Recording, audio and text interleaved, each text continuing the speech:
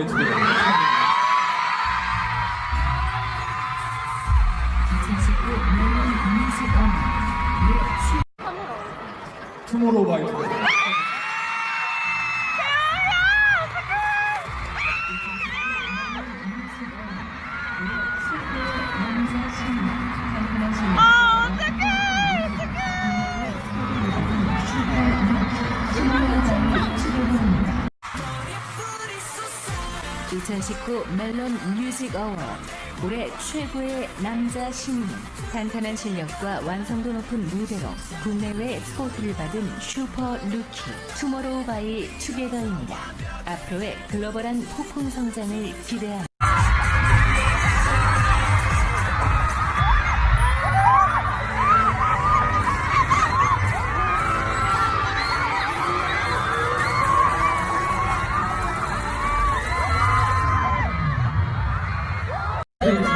원, 휘! 안녕하세요. 두모노 바이트 배입니다